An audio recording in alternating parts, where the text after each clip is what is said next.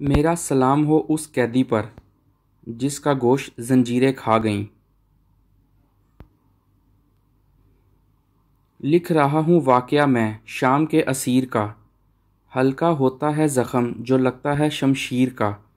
तोक और जंजीर से हो गया ज़ख्मी बदन। गोश्त, जिसका बन गया हो लुकमा जंजीर का।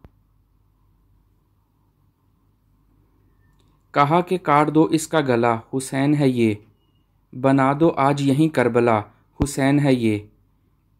किसी ने पूछा, क्या किया था इसने जुर्म? कहा कि, जुर्म है काफ़ी के, बस हुसैन है ये।